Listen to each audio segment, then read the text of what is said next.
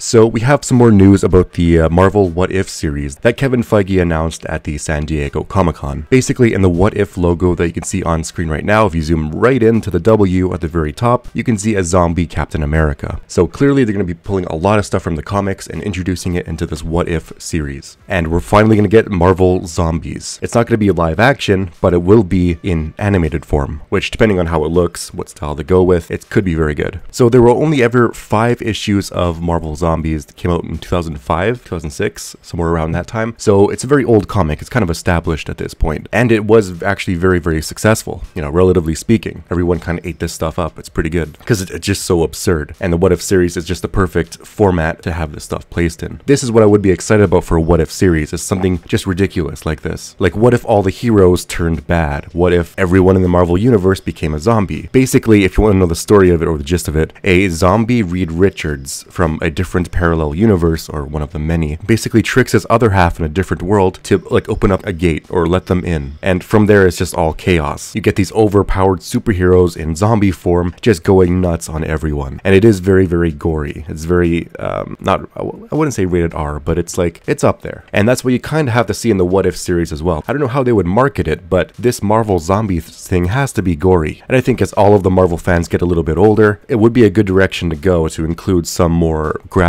content, like R-rated stuff. We're kind of at that point after Deadpool, so yeah, it's, it's probably fine. But because they're clearly going to be adapting this in the What If, we're going to get stuff like Zombie Spider-Man, like you saw in the, the logo, Zombie Captain America, Zombie Iron Man, you can see that Reed Richards in the background here. You're going to get like Zombie Hulk, Zombie Wolverine, although it's kind of interesting though, because the X-Men haven't been introduced in, into the MCU just yet. Will they be introduced in the What If series, like these animated stuff that they're going to be doing? Even Daredevil and all these other properties, like the Punisher, are they going to be introducing these characters preemptively? And will their character in the animated series kind of reflect how they're going to be portrayed in the actual MCU? So my first video about the whole at Marvel announcements at San Diego, was kind of a little bit pessimistic about all of it. You know, it didn't really grab me. It's just kind of logos and no like synopsis about what it's going to be about. You're, you're taking their word for it. But now that I've seen this for the What If series, it is kind of exciting. So as long as Marvel just stays on this trend, it's going to be a very good phase 4. Like other stories that are going to be adapted are things like what if Doctor Doom had become a hero? What if the Hulk had the brain of Bruce Banner, which we actually got in the Smart Hulk we have in Endgame? And actually, what if Jane Foster became Thor, which we're getting? The whole female Thor thing started in the What If series back in 2005, 2006, and then was later adapted into actual MCU stuff. Well, not MCU, but the Marvel comic stuff back in like 2015. But all of these stories are going to be presented using the Watcher. The Watcher is basically usually it's just him or it's uh, like a collection of them. They're characters that just watch everything. They don't actually interact with the universe, and they're the perfect catalyst to kind of show you all of these stories. They even break the fourth wall. But let me know your thoughts about the What If series. Are you excited for it? What are you most anticipating for Marvel Phase 4? But yeah, make sure you like and subscribe, and thanks for watching.